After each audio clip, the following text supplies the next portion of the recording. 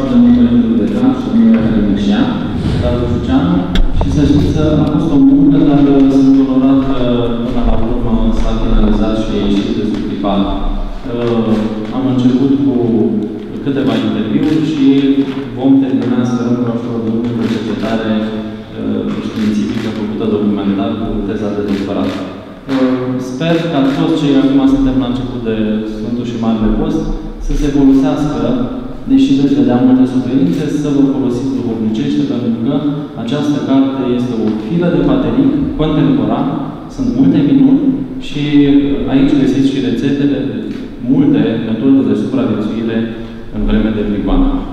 Mulțumesc și o seară frumoasă tuturor!